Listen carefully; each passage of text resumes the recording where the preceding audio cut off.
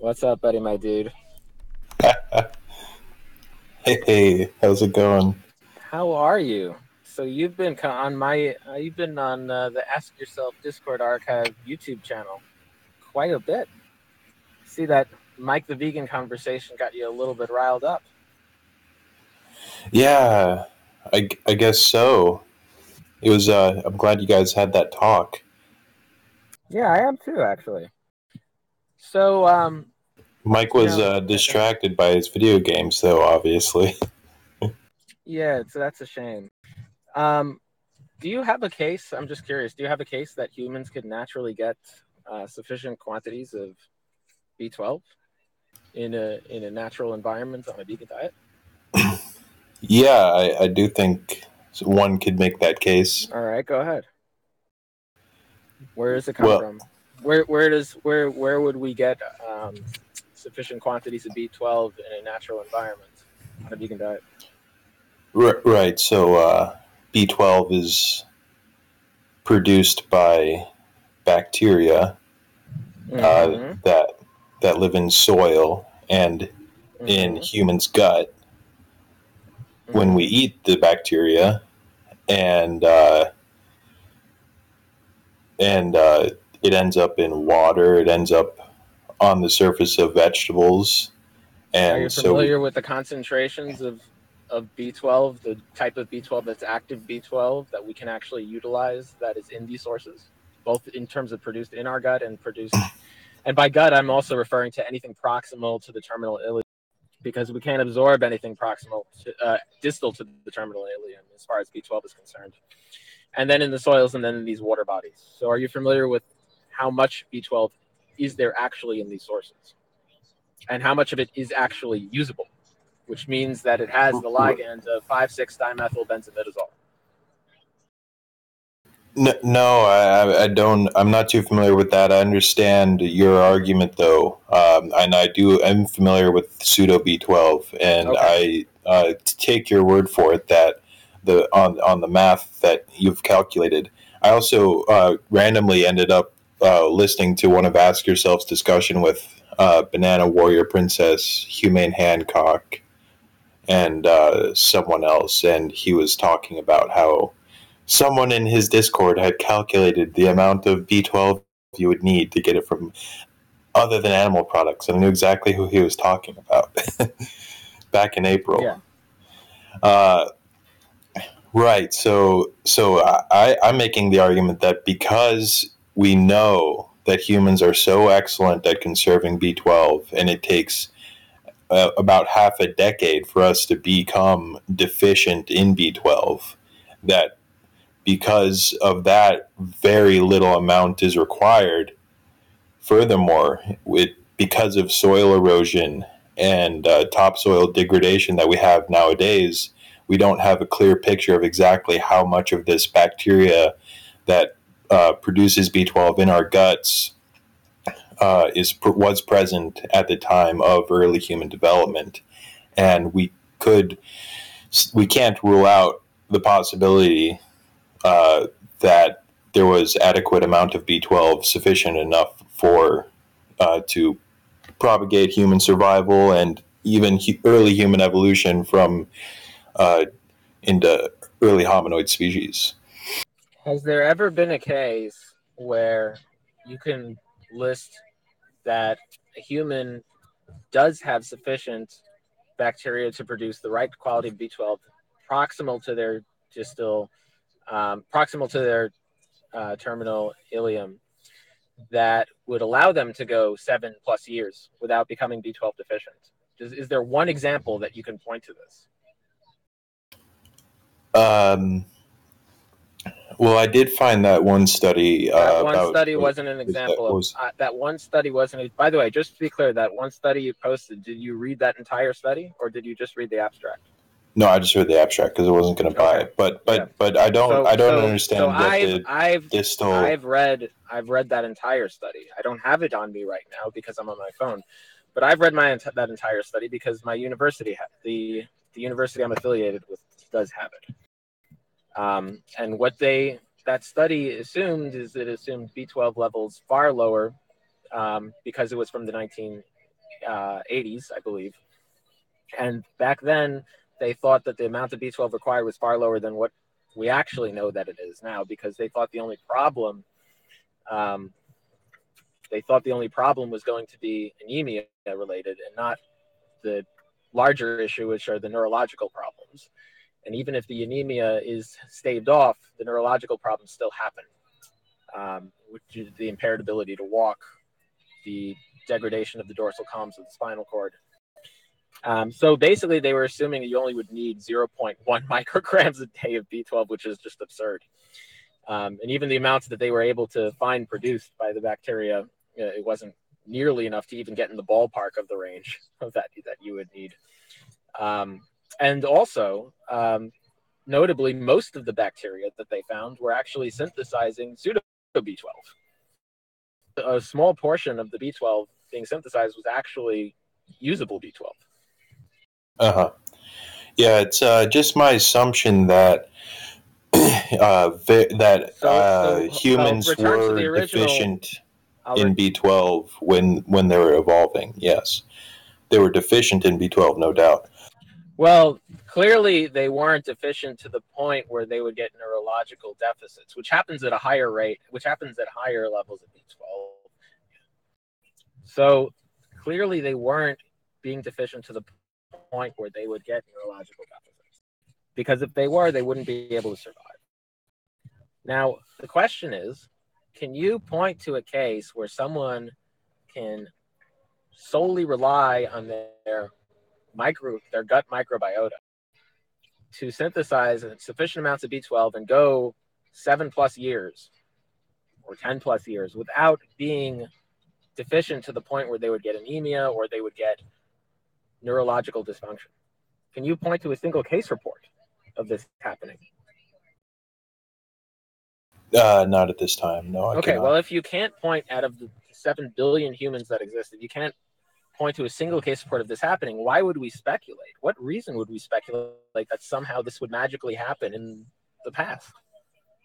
Uh, I I I haven't looked into it, but I I don't doubt that there uh, there is the ability for humans to go five years at no, least. five. No, that's B12. dishon- that's the very dishonest. Five years is is common for whether it's five years is expected. It takes two to four years on average for a B12 deficiency to happen because B- body is has a high B12 stores when you're getting B12. Um, but the problem with that is that that's just the standard expectation. So of course, you pointing out it takes five years is meaningless. That's the standard expectation of how long it'll take for a B12 deficiency to happen. Who cares? Uh, well, there are uh, numerous examples in history where humans have survived with deficiencies. You know, populations have def- survived with deficiencies. For example, the term rednecks in America comes from uh, of mineral or vitamin deficiency. I can't remember off Do the top of my head. know? Do you know what happens when you're deficient in B12 for a prolonged period of time, above five years, ten years, fifteen years? Do you know? Do you are you familiar with what actually happens? It's not. It's not like any other mineral deficiency. Yeah. Well, Uh, can you tell me? Can you tell me what happens? No, I understand that it's not not specifically. No, I know that it creates neurological problems. I I don't know to the point to the point that to the point there's an inability to walk. There's an inability Right, to right. to move your body, yeah. So and then so and then uh, de- and then and then death. Okay, fair enough. And I believe that that's uh, with like getting no B twelve, not This uh, no, this is with- necessarily a, a this is- deficiency. This, this this will happen. This will happen for ev- for everyone we that we can observe that does not get an intake of B12 that will rely on their gut microbiota to synthesize B12 for them. Like this is dangerous. This will kill people. And it's so and we have not been able to see a counterexample of this not killing someone. When it's How could we observe that, though, considering the soil erosion and the poor soil quality we have today compared to because they're what they're early humans because there's soil all across the globe, and we you can have all sorts of third world countries. You can have all sorts of areas outside outside of first world countries, or you can there would be one at least one count. You would expect at least one counter example, and it just hasn't been shown. Where is the counter example? Where the where the um, just look, there's seven billion humans, and there's an entire planet full of. Where is the counter example here?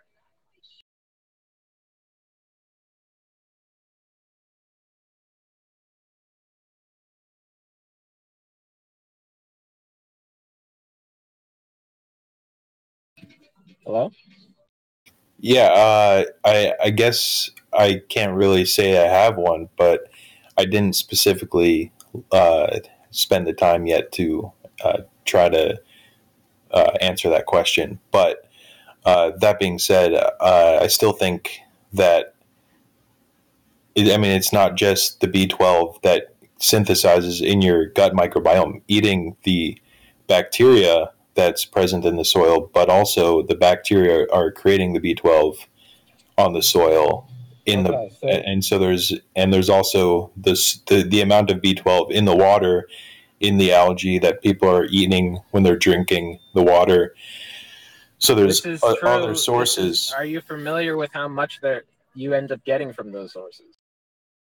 I, I, understand your argument is that it's very, very small even amount. If, even if we assumed perfect absorption, even if we assume that from the sources where there's the majority of pseudo B12, even if we assume that wouldn't impede or impair with the actual usable, you would need to drink enormous amounts of this water. With the one, with the one exception I've seen in the literature, which is during a which is in an area where humans did not evolve for the majority of their evolutionary history, and it only happens at, during an annual bloom. It was for, it was found in a in a water area in New York.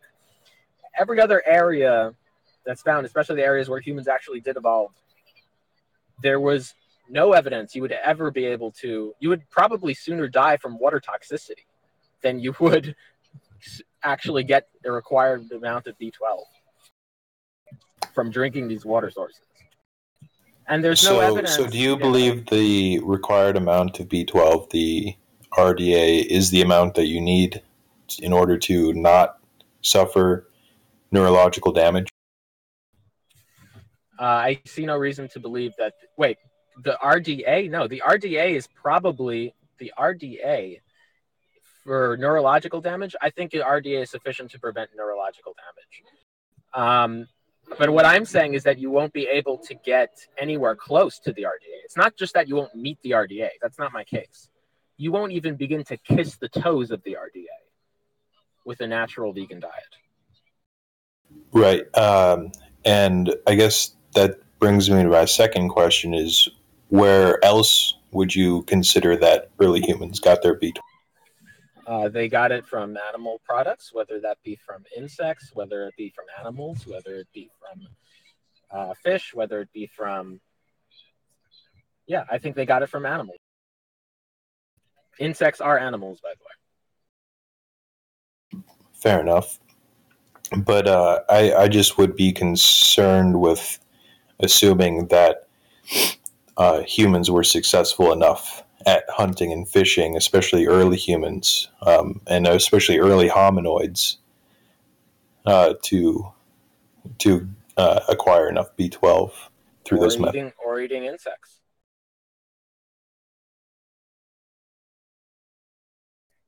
I mean, there's. I don't think there's a point in human history, in evolutionary human history, where humans weren't eating insects.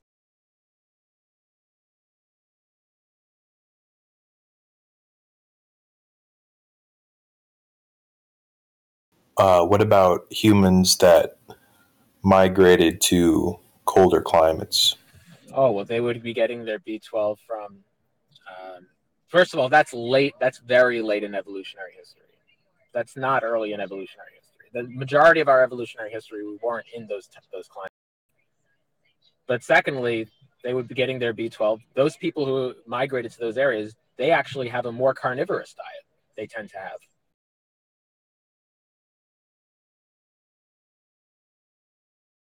I do remember one of Mike the Vegan's videos talking about uh, an early human that they found that had was very well preserved from being nearly frozen, and they were able to analyze his hair samples and find that, and uh, were able to use that evidence to show that he was basically vegan. I don't. I'm. I don't see how that.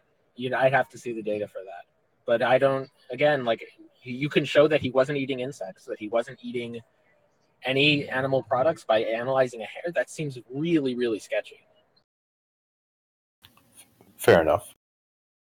Okay, so is there any evidence that humans can get adequate B12 on a natural vegan diet? Yeah, I, I still think there where, is the possibility. It leaves no, the possibility well, open well, that there's well, no, you're just saying sufficient enough B12. You're just saying uh, something's possible. When you say something's possible, what do you mean? I think uh, that it, there's a good chance that uh, uh, early humans, especially uh, in Africa, were not very successful hunters, and uh, again in Africa there were plenty of insects. It didn't matter if they weren't successful hunters. There were plenty of insects to get B12 from. And there, so you've were able to find the uh, B12 numbers of insects. Uh, I can. I don't have the numbers on me but yes, some insects do have B12 in them. I find that fascinating. Why is that fascinating?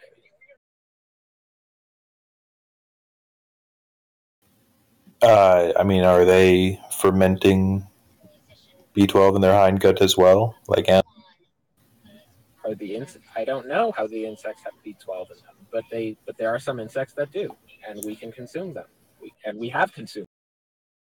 Um, we don't ferment B12. We don't ferment. Um, we do ferment in our hindgut. We just can't absorb B12 from in our hindgut like other monogastric herbivores can. Yeah, yeah, right, right. So, so that's the argument for why. I understand your argument. So that's why you're saying that they uh, that we had to have eaten animal products because we ate animals that had adequate enough B12 in their gut. When in their gut, well, it, it doesn't have to be in their gut when we eat, ate them. It could just be absorbed into their muscle tissue when we we ate it from the. They're better at gathering B12 than humans. Yeah, yeah absolutely. Uh, far superior. And insects too certain types of insects. It depends on what it would depend on which type of insect. Also, um, bivalves are really uh, certain aquatic animals, uh, fish, bivalves. Those are very, very high in B12, especially bivalves.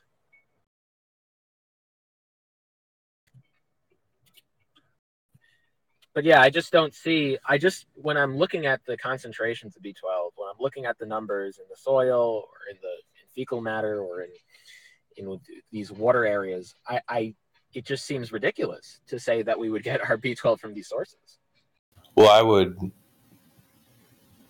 not argue that we got it from fecal matter, uh, you know. So. Well, or any of any of those sources, soil, whether it be soil or whether it be water or whether it be fecal matter. Any of these sources, it seems insane. It seems like ver- so what, verging on insanity. what percentage of uh, your RDA of B12 do you get from what you, you the math you calculated? Do you get from uh, water or potentially from root vegetables? You, if you drink more, if you drink more water, if you drink more of it than you should, far more of it than you should, maybe you'll get maybe you'll get ten percent if you get, I think if it was like five liters or something, or to 10 liters, you may get like 10% of the RDA on uh, some of the numbers I've seen. Uh, that probably was a charitable estimate. It's probably lower than that. The most charitable one is it would be in the in during the algal during the bloom, not the algal bloom. There was a bacterial bloom in a New York water area, but that's not that's not where humans evolved anyway. Um, right, that's right. only for one. That's only for one month out of the year where you would be able to do that. Um, so yeah, I don't, I don't. You'd have to really push it to even get ten percent of the RDA. Hmm. Interesting. Interesting. Well, I I do think that it's a strong argument, but uh, unfortunately, I just if there's any amount of if I mean with that amount of B12 and how we know humans are very good at conserving B12, no, no, I still not, think it's, it's not, fair no, enough. No, no, no, no, no, no. It's not that humans are very good at conserving B12. They're they're not. It's just that it takes a long time for B12 to deplete. That doesn't mean we're very good at conserving it. Just because it takes a mm. long hmm. time to deplete it doesn't mean we're good at conserving it. Because so it that still study ends up depleting. Uh, it still ends up depleting the, at the end of the day. Right. Right, I understand. So that study that I cited to you that you were able to read, um, mm-hmm. that that showed the. So I must have misread that. So that was talking about uh, gut fermentation past the point that was no, able no, to be absorbed, no, or no, no, no. It was pro- it was before the point that was able to be absorbed. That's not the problem. The problem was that number one, they assumed getting enough B12 was far lower than what we now know it is. So to the point where it was instead of 2.4 micrograms RDA, they had 0.1 micrograms. And then that was, and then problem number two was that the majority of B12 being produced by the microbes were was pseudo B12. It wasn't actual usable B12. And then problem number three was when they when they extracted the microbes and saw how much they produced, it was it was an abysmal amount. It was it was just not enough. They thought it would be enough back then because we didn't know about how much B12 we needed back then.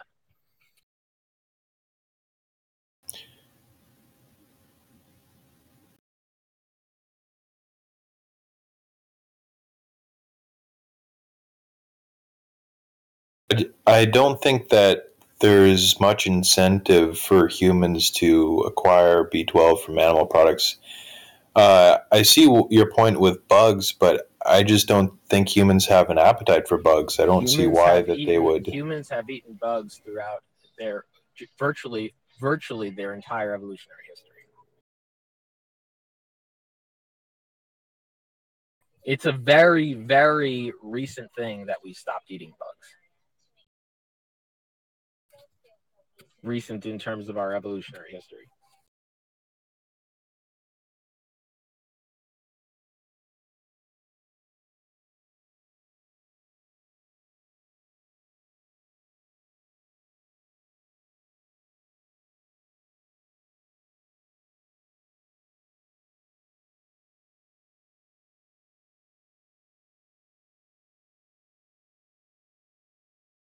Well, I I do concede that I it's it's hard to argue that uh, humans didn't uh, take make use of uh, eating bugs when they when they were available, and uh, and uh, it's hard to argue that humans weren't uh, didn't take make use of any animal product that was available to them, which is fair to label them as omnivores uh, as a result.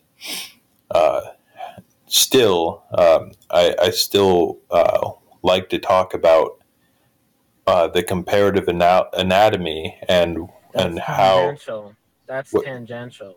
Comparative anatomy is tangential to whether, even if look, even to first of all, it's tangential to whether we can get adequate B12 on a natural vegan diet. And as long as we possess the trait of unbe- not being able to get adequate B12 on a natural vegan diet, then we are de facto not herbivores. Even if we had all the comparative anatomy of an herbivore, even if we looked exactly like a cow, as long as we possess the trait. Well, well how do you define natural? I mean, because I could ferment the bacteria in my own well, home no, and well, put it in a pool of algae well, no, and drink the algae. Well, no. In other words, as long as we possess the trait of needing to consume animal products in order to get sufficient quantities of B12, then we are de facto not herbivores. And, and again, when by natural, I just mean like we're not in this state of technology that we're in today. We're not synthesizing it. We're not using tools to fer- to ferment. We're doing what we, we could have done, anything that we could have done and did do back in historic times back in our evolutionary history. I do think, but I, that's the thing is, I agree with you that we probably did use bugs to get uh, B12, but could, I, I still we don't have know. Not used bugs is the question. Could we? Is do we have I- I do to believe we couldn't? We we could we could have used we could have gotten it without bugs. Do we have any good reasons to believe that? And I don't think we do. Yeah, I, do think we do because because the the, numbers because the of- numbers show have been a, the numbers do not give us a good reason to believe that. because I don't think that the small amounts that while you have shown that there are that we don't get the anywhere close to even the ideal amounts, which I completely agree with. I still believe that uh, I don't I, I don't have necessarily evidence to back this up, and that's because I haven't spent the time to look into it, and it would be definitely not easy to make the case. But I think it is worth considering that it uh, we could have naturally acquired enough B12 to survive. And I do believe that there were long periods of time where humans went without animal products. What is That- the evidence for that? Well, I, I, have seen evidence before that uh, humans were just not very successful hunters in our early human history. That's not that's not evidence that humans weren't getting animal products. Again, humans had plenty throughout the overwhelming majority of human history. They had plenty of access to. So again, where is the evidence that we did not have access? We went through a long period of time without accessing animal products. Insects are animals. They fall under the that's that's they're classified as animals. Yes, yes, yeah, yeah. I do think humans ate ate bugs, um, especially early humans. Uh, still, it doesn't. So where's the evidence that we could have gotten adequate amounts of B12 without eating insects? Now you can do it a number of ways. You could say, okay, listen, I found this body of water. It has it clearly has sufficient amounts of B12 in it. We could have gotten it from there. Or you can say, okay, I found this body of soil. It clearly has sufficient amounts of the right type of B12. We could have gotten it from there. Or listen, I found this this fecal matter that was like naturally that that wasn't like people from people taking synthetic forms of B12 or anything like that. And if we just ate our own feces or something, we could have gotten it from there. You can make any argument you want, but like show me something. Well, I, I still, I still really like the argument of, of the paper I showed you on the on The the. paper you should know, the paper you showed me doesn't make your case at all. It, it actually makes the if, if anything, you were to look at it now, if we were to look at it now through the eyes of what we know about B12 now, it makes the opposite. They thought it would make the case back then because they thought what is the required amount of B12 was incredibly lower than what it actually is. Anyone who looks at that right now with a with understanding what we know about B12 now, it makes the opposite case. So, I'm still skeptical because I'm wondering if Look, have you read your have you read the paper? You're telling me no, no. it. I, I'm taking your paper. word for. I'm taking your word for it about what it says, but I'm still skeptical of whether the minimal amounts of B12 that you're talking about are enough to prevent the neurological debilitating diseases that Then why do they happen? Why do they happen? Then why did then why do we observe them? Uh, from from people getting no B12. What? Well, no, they're not getting no B12. They have microbiota that are synthesizing it. Do they do though? Yes, they do. So we've observed people with neurological damage Mhm. that have that have the the Yes. B12 microbiota in their stomach. Yes, they they have the species that are reported in that paper. Yes. I, I yes, absolutely. The hmm. species that synthesize the species that synthesize the real B12 and not the pseudo B12.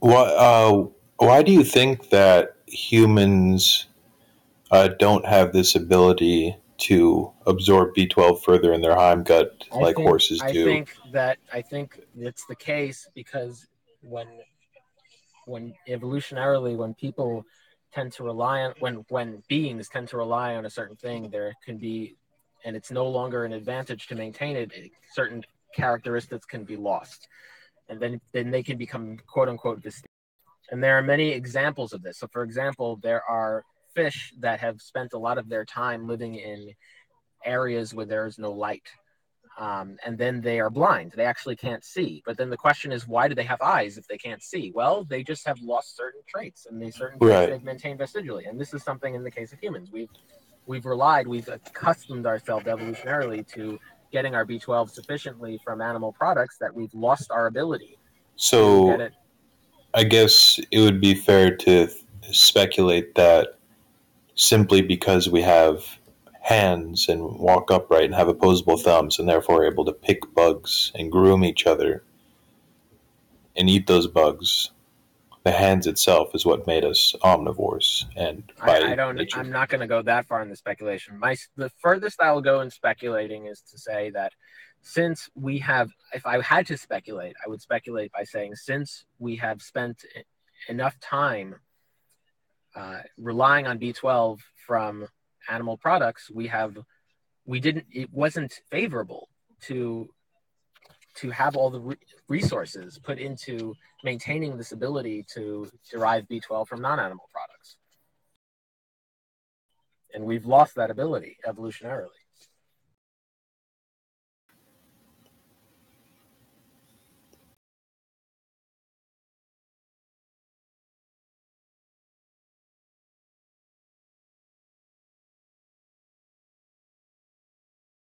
Well, I, I don't have anything else. Uh, I I think your case is strong, and I haven't spent the time to do the math myself or to look into any other possible uh, avenues that we could have gotten B12 naturally on a vegan diet. And I think your case for eating bugs specifically is a strong one. Uh, if if considering you saying it's true that bugs have B12 in them. That was not something I was aware of.